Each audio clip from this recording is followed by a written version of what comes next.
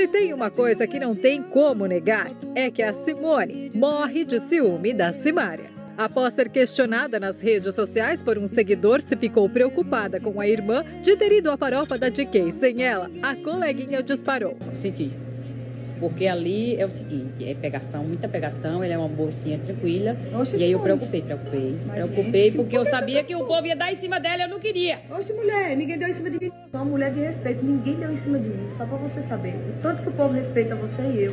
O povo sabe que a gente é séria, pô. Muito bem, sabia que eu ia ficar com ciúme, ninguém deu em cima dela, tá de parabéns, glória a Deus.